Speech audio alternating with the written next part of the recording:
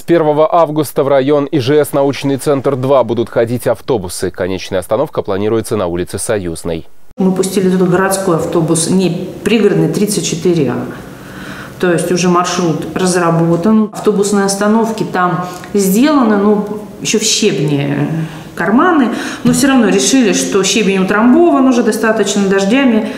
Также в скором времени будет курсировать автобус от района ИЖС «Научный центр 2» до улицы Мирной. Маршрут проложили через улицу Михайловскую.